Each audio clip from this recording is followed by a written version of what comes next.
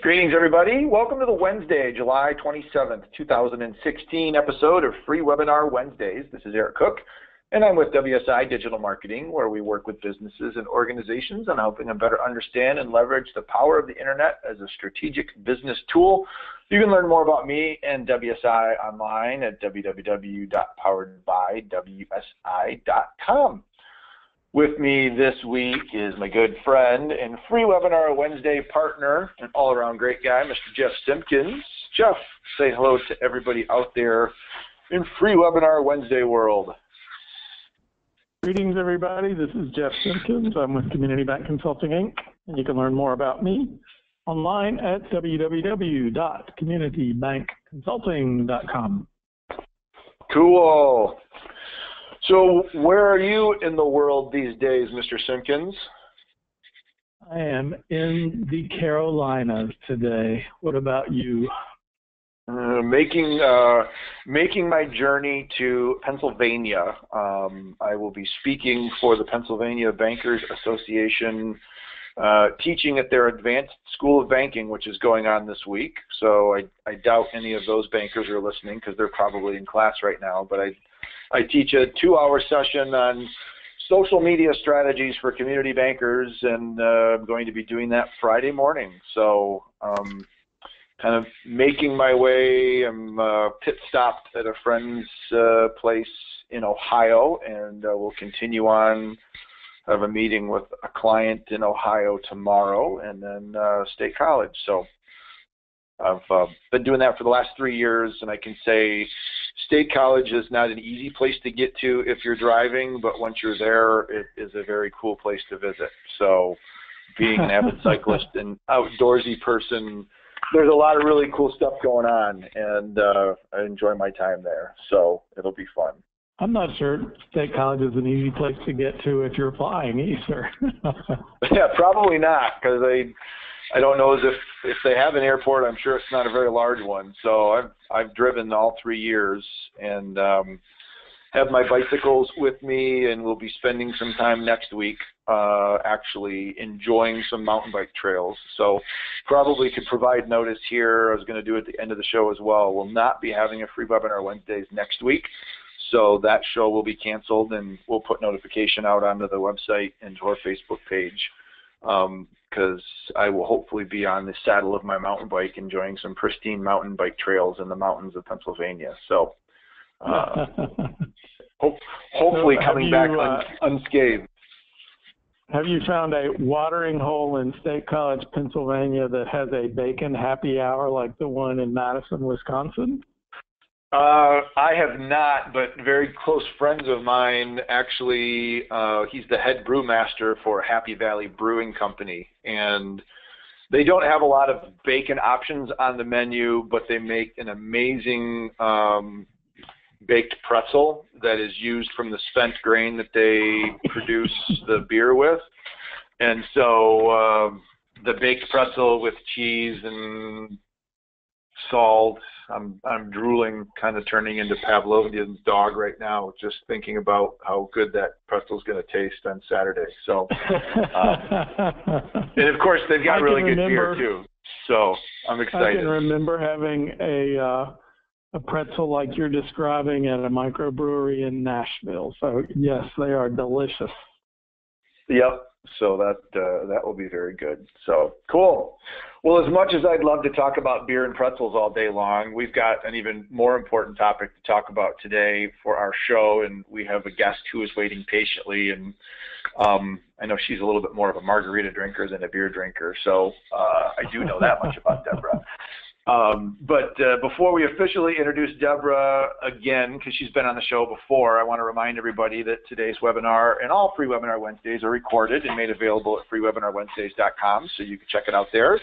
Share it with your friends and coworkers, and uh, if you have a question or a comment, we certainly love it when we get engagement from our live audience. So feel free to go ahead and use the chat function within your control panel and let us know what you think while we're going through today's show. So with that, I am going to uh, work the wonders of GoToWebinar, and I'm going to send our guest, Deborah Gonzalez, the screen so she can show her PowerPoint. And while she's doing that, Uh, I will officially welcome her to the show. Deborah is a entertainment law and social media attorney out of the Athens, Georgia area. I am proud to say that not only is she uh, a business associate of mine because we are co-founders of a of a company, I guess, uh, for lack of a better, an effort called Digital Risk and Compliance Partners, and we work together uh, producing and delivering digital risk assessments for clients. So I get to work with her on a regular basis, but she's also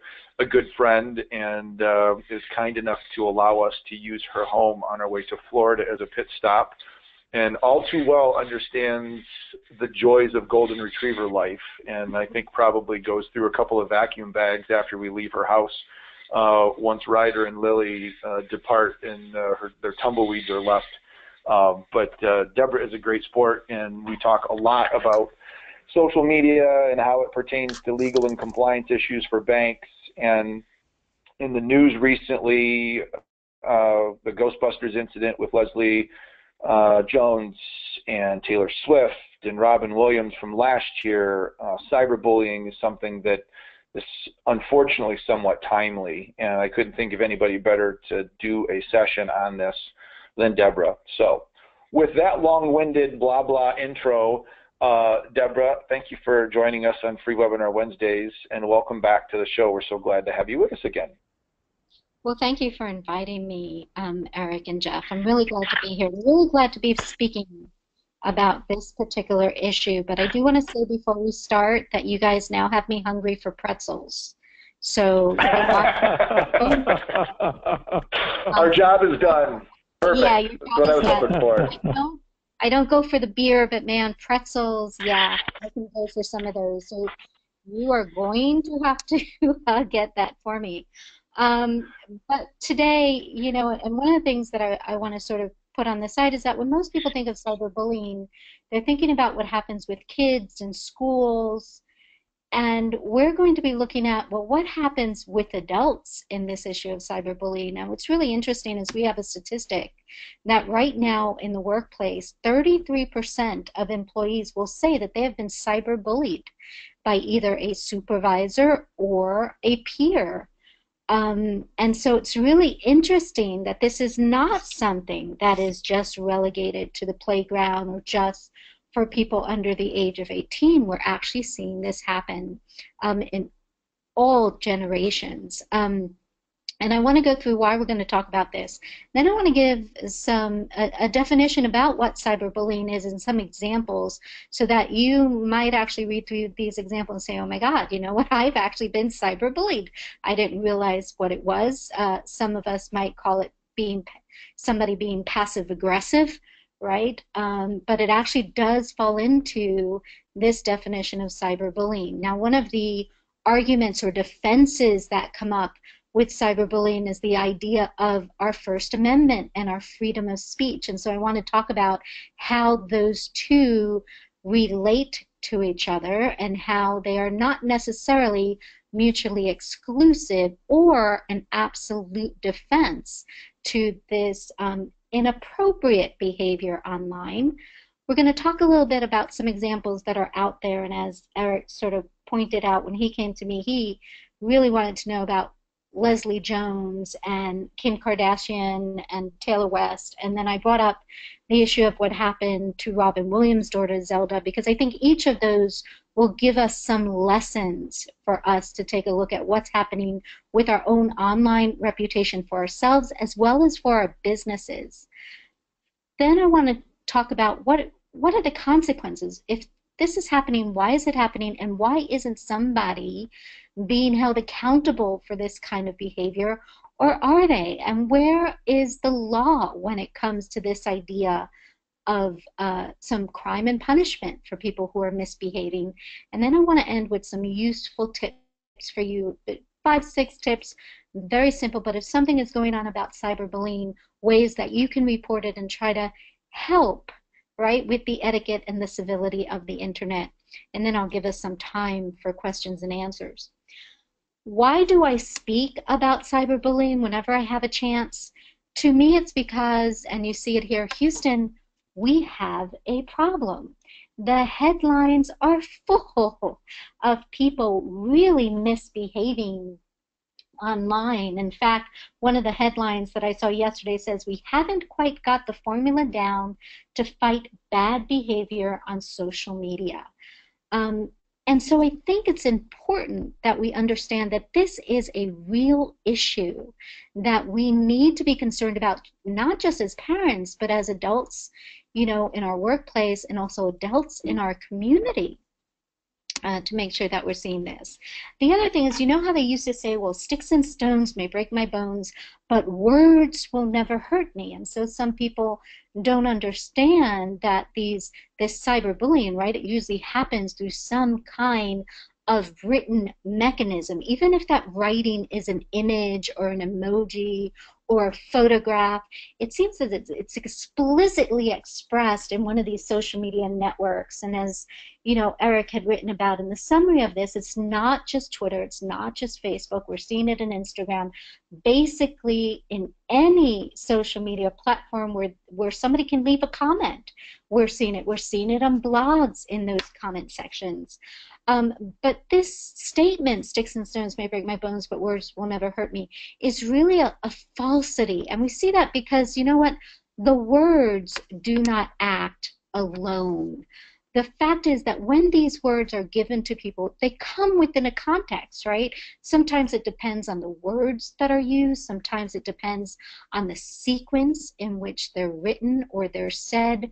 You know, emoticons came up because there was no way to tell inflection or tone in our emails and this written uh, communication. We just didn't know was somebody joking with me, so we created the little smiley face emoji to sort of in, interject some kind of human emotions, things that most of the time, if we're face to face, we're going to pick up from somebody's body language, right? And so that tone is sometimes lost. Just think back, you might have had an interaction with a colleague or even with a client um, via email, and you thought you were making a joke, or they thought they were making a joke, and it really came across the wrong way. Um, and so it can cause a lot of miscommunication and it can cause some problems down the line. Sometimes it's also the kind of medium that is being used. You know, we're going to talk when we talk about um, Kim Kardashian about Snapchat and this social media platform, which is considered only to host things temporarily, right? It's going to self-destruct in less than 24 hours, that kind of thing. And yet, uh, even though it puts off that claim, we know that their servers hold on to this stuff, and we also know that people have apps now that will capture it so that it does not go away. Um, sometimes it's the way that there's some white space with the words, or what words came before, what words that came after. And then more importantly as well is that we know now that what happens online affects offline behavior, actually has offline consequences. Um, and so when you combine what is written and what is communicated with the actions that are actually taken, you can see why these words become so impactful and have so many consequences in them. So here's a definition that I like to use about cyberbullying. Um, and it, it, one of the important things is, you know, bullying has happened, right? We're going to say, well, I was bullied when I was a little kid.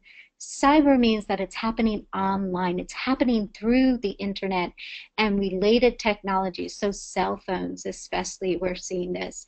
And the idea is that there is an intentional use of this technology to harm somebody else, right? It's deliberate. It is repeated and it is quite hostile. And you know, some of the examples that I won't necessarily read to you today, but you will have um, the links to go and actually see the verbiage. You're going to say, "My God, that is that is so full of hate and abuse. Why would somebody put that out?" Because the other thing that we understand about social media and the internet is that you know when you put something up there, it is up there forever. This is not something that has an expiration date or, or you know even the Snapchat that I mentioned before.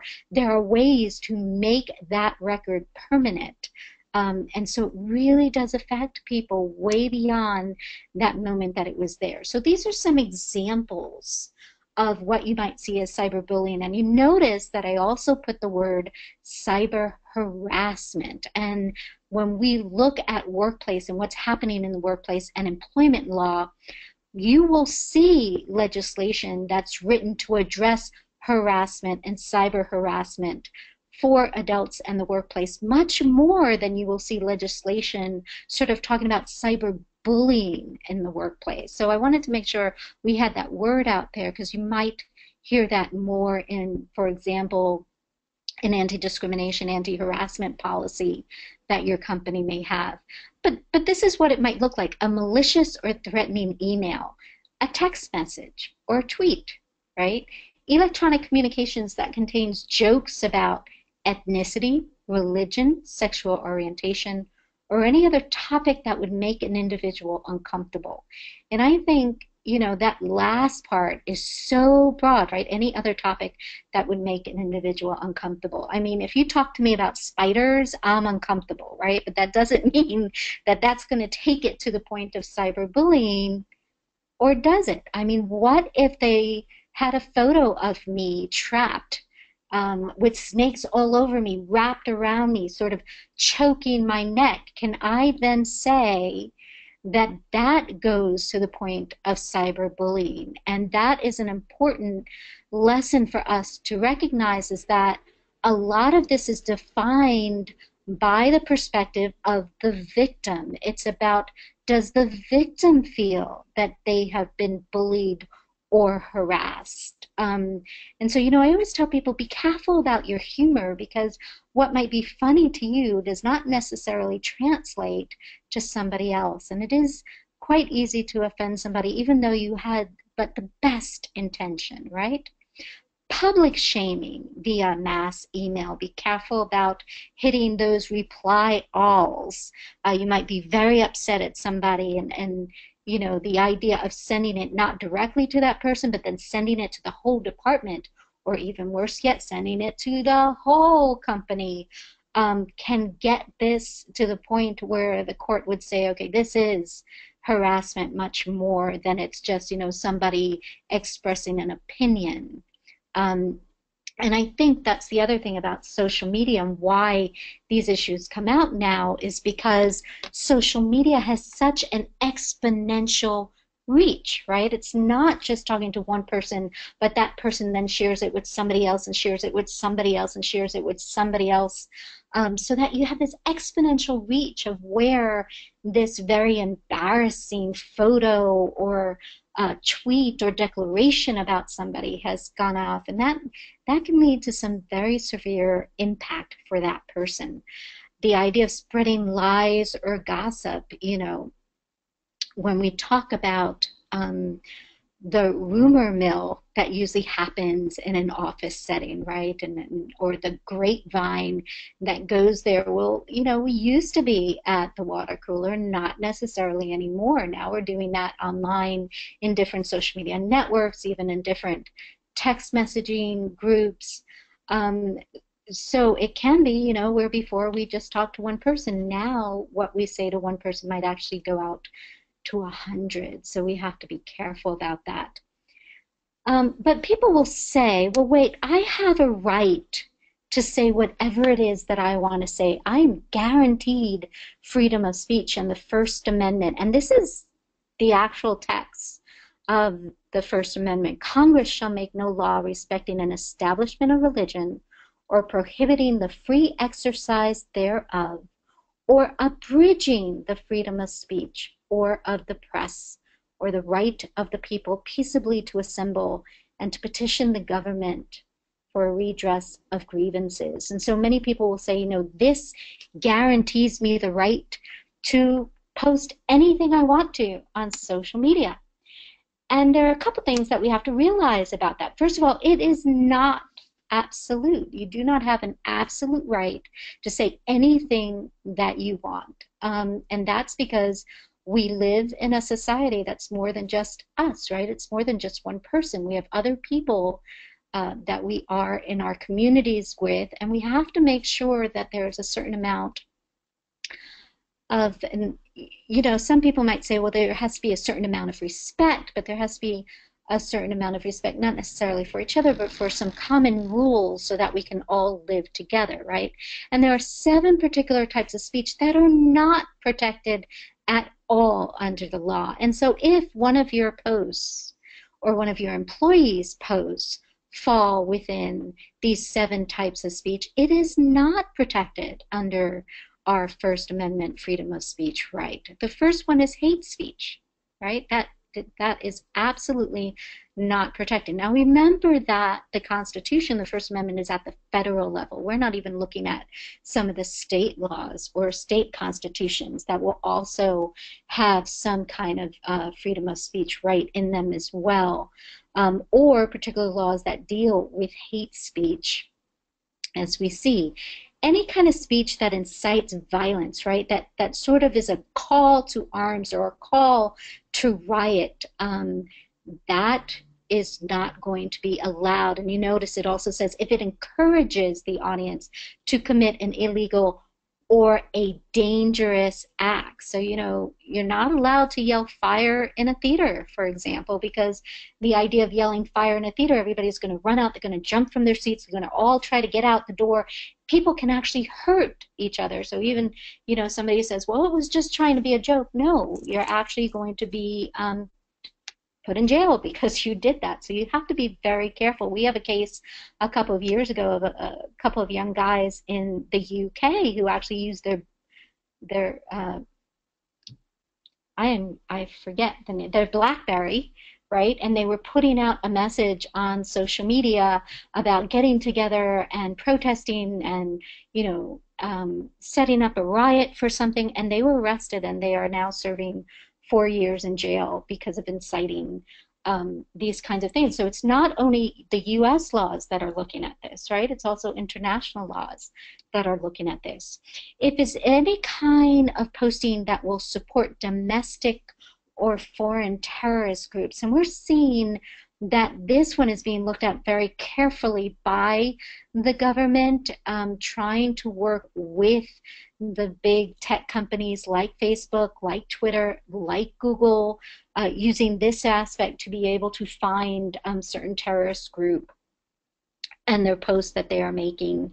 Um, any public speech that's made in the conduct of their duties by public employees any slander, libel, or defamation. So these are those, right, defamation of character, the idea that somebody has put up either in written form or has spoken, doing a false accusation about somebody, and that not only did they say something that is a lie, but that it then had consequences to the original person's to the original person's livelihood. And we're going to see how that plays out with celebrities because what's interesting is people will say, well, wait a minute.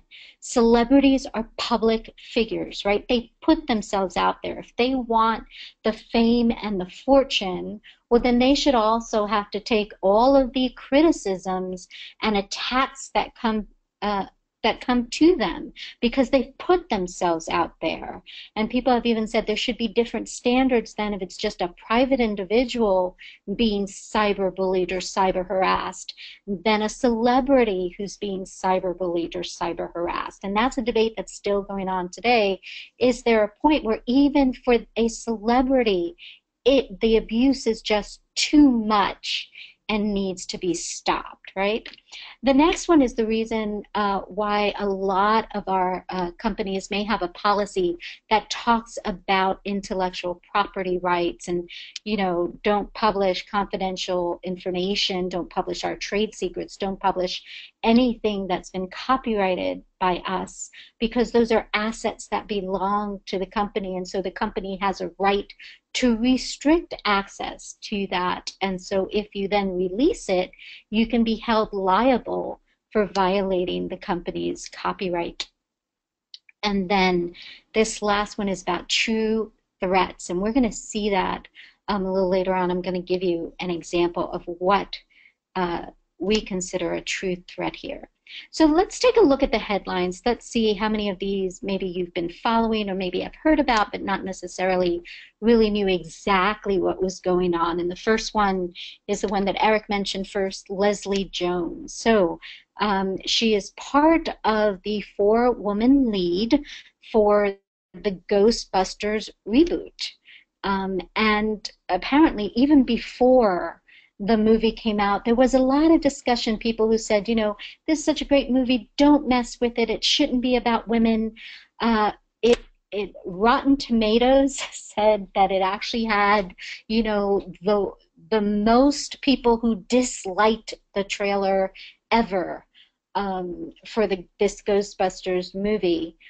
But it seemed that once the movie was actually released, it sort of opened up the floodgates for criticism um, against the people who were involved in the movie, but especially so against Leslie Jones, one of the actresses. And, you know, she was getting um, tweets that were just horrible. They were uh, filled with hate words, uh, violent words. And look at it, they even talked about her dead brother. Okay, so those of you who want to argue, well, she is a celebrity, obviously her dead brother is not. Um, and then they went even further to criticize the color of her skin, and people were posting pictures of apes and making a comparison there. And I don't know if you guys remember, there was a situation where a little five year old boy had fallen into um, a gorilla in, in, enclosure and then they shot the gorilla. And so there was even a picture you know trying to refer um, her and relate her to that situation. And very very hateful. And um, what she actually did was she started posting screenshots of these different um, tweets and post abusive and putting them out and saying hey this is what's happening to me you know but this has to stop um, and after a few days of that, she then put out this tweet I leave Twitter tonight with tears and a very sad heart. All this because I did a movie. You can hate the movie, but the mm, I got today was just wrong. Um, and so she left Twitter because she just it was just too much. So again, that idea of words, right? Well, a couple things happened when she left Twitter. First of all, a hashtag was started, hashtag love for Leslie J. And friends and other celebrities um, started coming out condemning these Twitter attacks and calling for Twitter to do something about it, right? Um, and so you have some just some examples here of some of the positive tweets that were put out there and sort of this hashtag and this response to sort of counter what was happening before.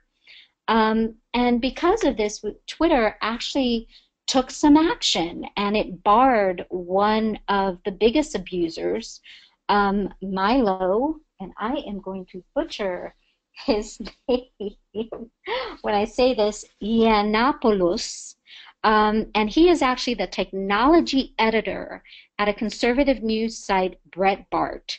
Um, his Twitter handle is at Nero, and he basically launched a whole campaign against Leslie Jones and encouraged his followers to do that as well. And, you know, this is one thing, right? If you're going to uh, do some some tweets like that to somebody, but then to encourage uh, the followers that you have to do that as well takes it to a different level. So Twitter did bar them.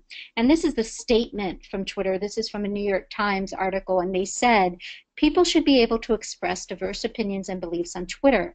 But no one deserves to be subjected to targeted abuse online, and our rules prohibit inciting or engaging in the targeted abuse or harassment of others. So they did explicitly talk about the fact that this guy, Milo, was telling his followers to go ahead and abuse her. Um, but they did not necessarily mention him, they, his name, when they made that statement. Uh, they just canceled uh, his account And then they also said we've seen an uptick in the number of accounts violating these policies and have taken enforcement action against these accounts, ranging from warnings that also require the deletion of tweets violating our policies to permanent suspension, which is what they did with Milo. And you know, Twitter, just like most of the other social media platforms, all have policies that talk about how can you use their service, right? Their terms of service, what not to post up there, um, how to be respectful for people. But that doesn't necessarily mean that people will not do this kind of thing. Uh, well, after that, Leslie Jones came back, and in fact, once she was back on, she got 100k followers with that, and uh, so you can see here her victorious return to Twitter. So that brings us to the next example, and this I think is uh, probably a sadder example than Leslie Jones. This actually happened in 2014, so two years ago. Robin Williams had committed suicide, um, and his daughter, Zelda, who was pretty uh, pretty private at that time, started receiving a bunch of um, tweets and Instagram messages and other social media messages about things like she was never there for her father, she didn't love him enough, uh, why didn't she stop him from committing suicide? I mean, it was just all this, as she says, sending negativity. Um, so, you know, that idea of why, why, you know, she's going through this grieving process.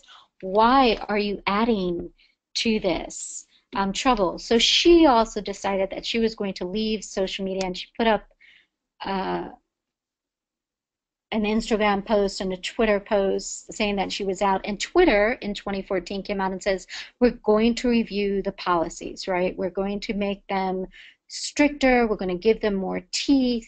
Um, and as you can see with Leslie Jones two years later, we're getting the same thing from Twitter.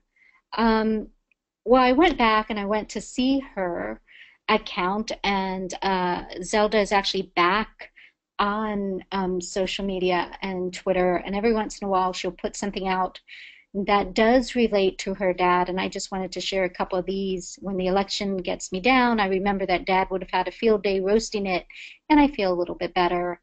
Or recently, Garry Marshall had died, and she said, Rest in peace, Garry Marshall. You forever changed my father's life and thus mine thank you for capturing so much joy on film over and over. And I think what these two, you know, Leslie and Zelda remind us is that even when people decide to close their accounts, they do come back. And I think one of the reasons for that is because what we're seeing is that social media is so integral to our lives now. It's the way that we communicate, it's the way that we relate to others so much that it's really hard to completely you know not be in that online medium. And so it's a reason also to understand why our employees just can't shut it down right? Why they are going to be involved to a certain extent in this social media policy because it's become part of our culture part of our society in that now, there were no um, accounts that were suspended, though, the way for uh, Zelda, the way that they were um, for Leslie. But, you know, it, it did sort of start the conversation of why is this kind of a, a behavior considered okay in an online environment when somebody is grieving uh, for that? And that brings us to probably one of the ones that's still going on today, this idea of um, Taylor Swift and Kanye West. So uh, let me just give you a little recap of this. Apparently, there hasn't been very good blood between Taylor Swift and Kanye West since Kanye had sort of um, interrupted an award ceremony uh, where Taylor was receiving an award and he sort of stopped her acceptance speech and was on stage screaming how it should have been Beyonce, and um, it just really made a whole mess of it. And at the end of that award uh, show, Beyonce actually won a different award and then asked Taylor Swift to come on stage and say her acceptance speech as a way to make up for what Kanye had sort of done to her. But we have been led to believe through Taylor Swift's team that, you know, there's this ongoing feud. Uh, between Taylor Swift and Kanye West that has sort of culminated in Kanye West putting out a song called Famous. And in this song, he actually has some lyrics that sort of say uh, that he and Taylor are going to have sex because he made her famous. And when he refers to her, he uses the B word that rhymes with which, right? Um, and then Taylor came out, when that song was released, Taylor came out on social media and said, you know, I never gave permission. That was totally inappropriate to use my name that way, to call me that. Um, and Kanye West started tweeting out that yes, he did talk to her and did get approval from her.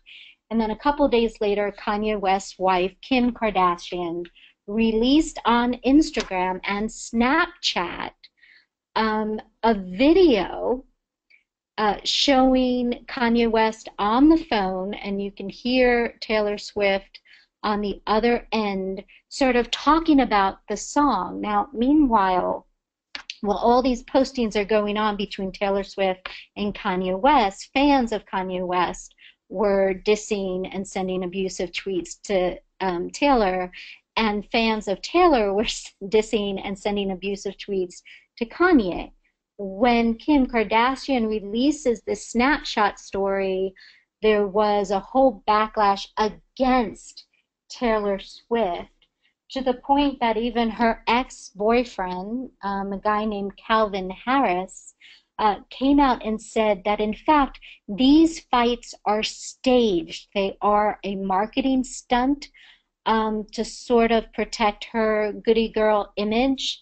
Uh, and they'll pick these kinds of fights with somebody and then just let it go because we are actually in an attention economy, right? People are always looking for attention. That's how they get their value, their publicity online on this. So it was pretty interesting to see this all play out. And another part of this came out and said, well, was this handled very differently than Leslie Jones's um, experience? Because why did it take so long for Twitter to react to Leslie Jones and, and make sure that abuse stopped? when Instagram very quickly created a sort of filter so that people could not put negative comments onto Taylor Swift's um, uh, Instagram account. And, you know, this is brought up, and, and the link is there. It's a very interesting article to give a little read to, but does discuss a couple of things like is there a difference because Taylor Swift is white and Leslie Jones is African American? Um, should there be a difference because they're celebrities and they should just accept this as part of the price that they have to pay? So I think, you know, those things um, just reinforce the conversation and the confusion that people are having about this behavior online and just where does where do we cross the line where we're no longer civil, right? Where everything is is is just beyond what we should expect from each other online. So, are there consequences to this, right? There have been some uh, news articles out there. Can Taylor Swift sue Kim Kardashian for putting out that video if she didn't give permission to put out the video, things like that. Can the uh, Milo, um, the guy who was sending out those abuse to Leslie Jones, can he be sued for something, or can he be charged with some kind of, of criminal charge? Um, and so I just want to give you some examples of where the state of the legal system is right now. And as I said, you know, you usually don't see cyberbullying when it comes to adults. You see the cyber harassment in the legislation. And on a federal level, what we have is the Communications Decency Act. And it was recently, um, some language was added so that it would include any telecommunications device. So a phone, whether it's cell phone, satellite phone, or it can also be an iPad or a tablet that has, you know, the ability to make calls or to send information electronically. Um, so that has really been something that sort of expanded uh, that particular statute. And on the state level, well, we have tons of, um, every state has some kind of harassment legislation. Some of them include now the idea of cyber harassment or the idea that you know harassment can be committed by a device that it doesn't necessarily mean that somebody has to physically be there. And so you have a link there. If you want to take a look you can go to that link go to your state and see what laws are actually active in your state right now. Um, and then we have something called cyber stalking and this sort of uh, takes a little bit where cyber harassment is, you know, you're actually going after that person, you're trying to annoy them, you're trying to, you know, just damage them in some way online. Cyber stalking is when, you know, you're actually following that person around. It's it's not just sending them one tweet or one post. You're actually watching every move that they're making, shadowing them, um, taking track of where they go, and every time they go someplace, leaving a comment there for them. Um, on the federal level, one of the things that it requires is that it has to have a true threat requirement. It has to be something that the victim feels that, you know, if, if they don't get protection, something is going to happen to them. And we've seen this. Um, we've seen where people have claimed, you know, because of the cyber harassment, that there is a, a true threat and that people are actually going to go after them and are going to harm them. Um, so we do see that a bit. On the civil side, though, we do have some other causes of action that victims can try to pursue. The defamation that I told you about before. Um, and remember that civil, you're asking for money, right? Or you might ask for some kind of injunctive relief, like that they take down all of their posts or that they issue an apology. Whereas in criminal, you're really talking about this can be life because it deals with prison. So there's a jail sentence there. So civil is a little bit easier to prove um, because criminal has to be beyond any reasonable doubt, and civil is more likely than not that they have committed this. Intentional infliction of emotional distress, harassment, invasion of privacy and those kind of privacy laws, and then copyright violation. And each of these have pros and cons to trying to use them, but they are available now, right? All of these that I talked about, the criminal as well as the civil, these are laws that are on the book now. It's just lots of times people don't know that they have this recourse to them, and even law enforcement sometimes will say, no, we can't do that because that's online, when in fact they do. But what we're seeing is that more and more law enforcement offices and departments are actually opening up special divisions just to deal with online crimes.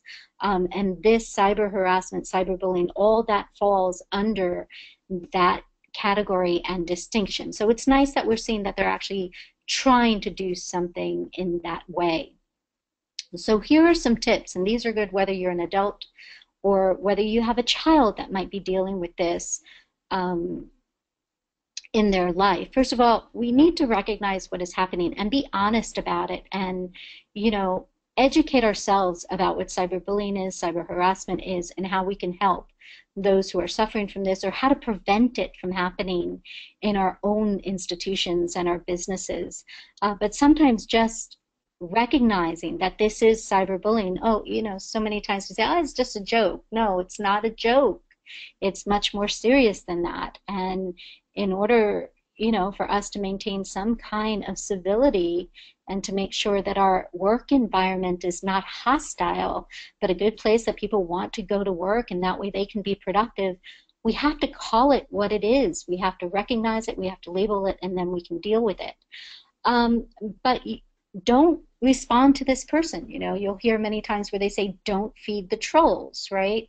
Uh, and as much as you want to respond and tell that person, you know, that's not true about me, uh, sometimes that's all that these trolls want. They just want you to talk back to them. They want to get some kind of reaction.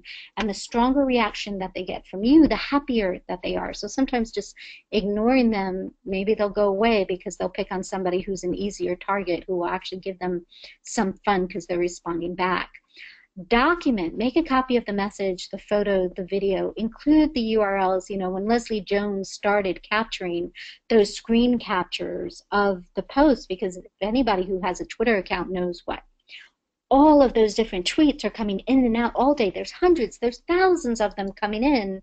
So you don't always are able to find that tweet later on. So as soon as you see it, document it, get that screen capture up. Um, that'll always be helpful. The next thing is you can contact the internet service provider. You can contact Twitter and Facebook, um, Instagram, Pinterest even. They all have online um, in their terms of use section and their help centers. They all are trying to do this anti-bullying, anti-harassment section so you can very easily report that something is happening. Now that does not equate to then it will very easily be resolved from them. They have their own terms of service, their own policies as to how they deal with it. But I think the more that people start reporting this and showing that this is a very real issue that needs to be addressed, then the more that we're going to see that these ISPs and these social media platforms are going to be responding. Um, if it if it takes it to the level that it's really just gone beyond the line, do file a report with the local police department. There's usually an internet crimes or an online crimes division. And then the other thing that you can do is you can file complaint with the Internet Crime Complaint Center, and you have the um, website there. And it's not that they can do any enforcement, but what the Internet Crime Complaint Center does is that it puts it in a registry, and so people can see, you know what, be careful about these others. They're abusive, they're trolls, things like that. Um, we're still at the very beginning stages of understanding why this kind of behavior is happening. There's tons of psychology arguments as to why it's happening. And so we're also just in the beginning of trying to figure out how to make people accountable for it. Um, as we see there. So this is a great book. I, I want to recommend it. It's called Hate Crimes in Cyberspace. If you're really interested from the legal aspect of it, this is definitely something uh, that you can get. It is an easy read, even though there's some legalese in there. Um, I think it's pretty good in terms of just something that anybody can relate to. Another one for those of you who are really concerned about your reputation and this harassment against your company, right, or against your business. So, Digital Assassination by Richard Torrenzano. Um, it is a 2011 book, but believe it or not, five years later, there's so much in it that is still so relevant because we are still dealing with the same things, unfortunately. So, that's another good resource for you. And for those of you who are looking at cyberbullying from the much more juvenile section, we have a cyberbullying corner with a blog and resources, and you can follow us on the Twitter handle of Law 2 Cyberbullying, and you can get stuff there. And we do tweet not just about the juveniles and cyberbullying, but about cyber harassment and what's happening in the workplace. So I will leave it there, and we'll open it up for questions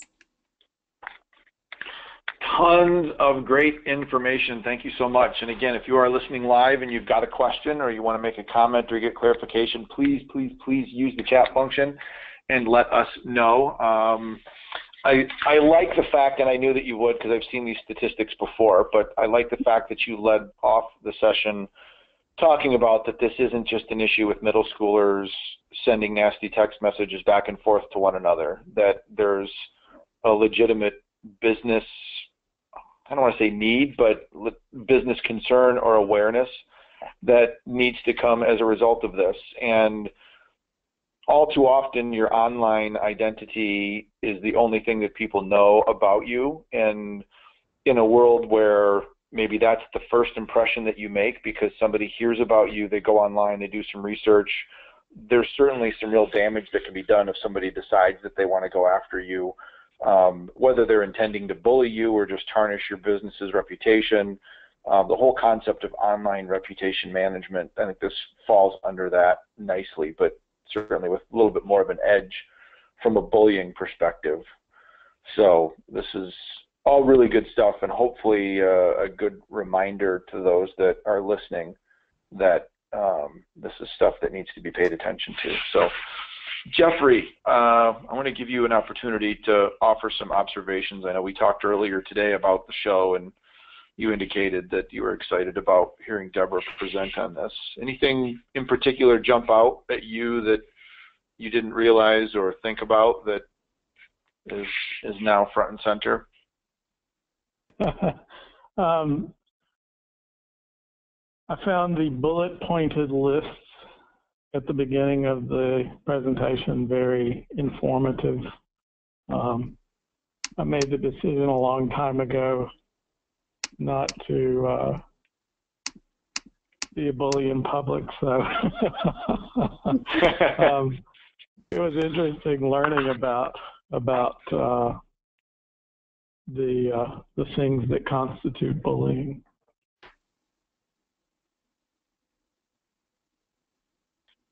Yeah, I think many people are surprised at that list, right? But I think one other thing that people are surprised at is the idea that freedom of speech is not absolute, that there are actually some things that we cannot say, or in some places that we cannot say them. Yeah. Your statistic at the beginning that said um, almost a third of businesses report cyberbullying going on within the organization at an employee level. I think mm-hmm. that statistic, at least when I've shared that with other businesses, the reaction is, "Oh, not in our office. Um, you know, that's not tolerated. That doesn't happen." Um, what I mean, how would an organization go about discovering whether that really is an issue? I mean, how do they how do they determine if it's an issue? Is it a confidential employee survey? Is it social monitoring?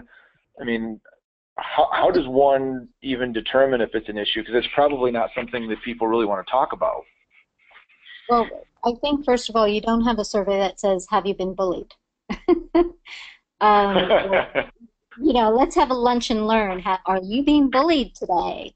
Uh, you, you sort of have to go through with this example of what does cyberbullying entail, right? I think if you give people this list that Jeff said, you know, that really surprised me, um, it helps them see what cyberbullying really is, right? Because all of us, I mean, I've received jokes from people that I would say, you know, that probably wasn't the best thing for them to send me as a female or as Latina I might find it offensive. And then, you know, so many times we sort of justify and say, oh, that's just the way Bill is, right? We sort of excuse it. That's just the way, you know, so and so. He didn't mean anything by it. But you know what? All those little bits, and that's why that percentage of a third of people seems so high because when people are told this is what it actually looks like, people can say, oh my God, yeah, that did happen to me.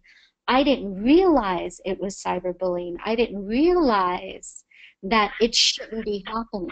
And I have a voice to say, I don't want you doing that to me. And so what we're seeing right now is, for example, companies going back to their anti-harassment, anti-discrimination policies and including language that says that that can actually happen online or through social media or through like the definition that the Federal Communications Decency Act said through some kind of telecommunications device. So I think first of all it's about educating our employees what is cyber harassment, what is cyberbullying, what are the examples so that they can understand it, and then to say that, you know what, we're not going to tolerate it here because it affects the workplace environment, it affects then productivity, and it can even affect customer service, right? I mean, you know, there's an old adage in retail if you want to know how people are treated by their bosses, you go to a retail store, see how they treat the clients, right? The customers that come in.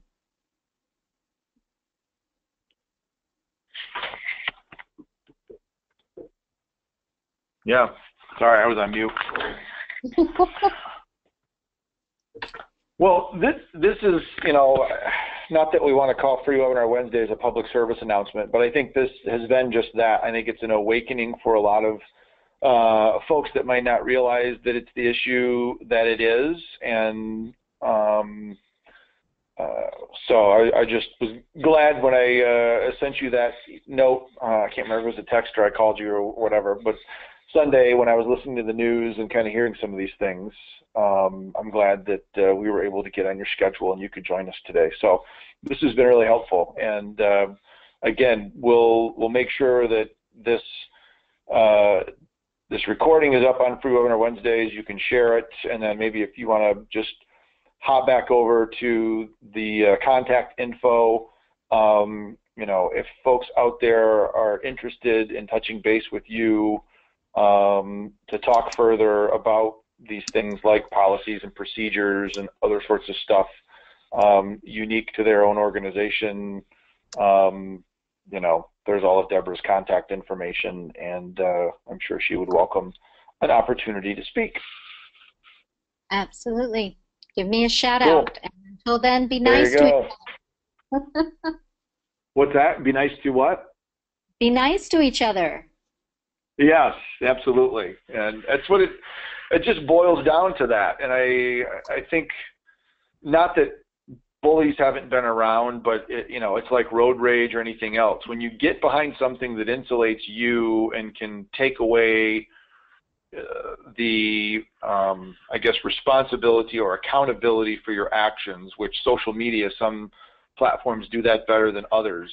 Um, you know there is that very real risk, and and while that the guy that went after Leslie, you know, got what was coming to him. You know, I've heard other people that have said, well, you know, at least he was using his real name, and at least he was standing behind what what he was saying. And there's so many others that you have no idea who they are. They're obfuscating their IP addresses with BitTorrent and other sorts of tools that are just hiding in the weeds. And when you squish one, another one pops up. So, not to to justify his actions by any means, but um, the anonymity that is created thanks to the technology that we've been given is is I think one of the areas that the networks are going to have to figure out how to take care of and eliminate this, or at least help mitigate it. So we'll see what what evolves. It'll be interesting to watch how this kind of plays out now that it's starting to become a little bit more commonplace.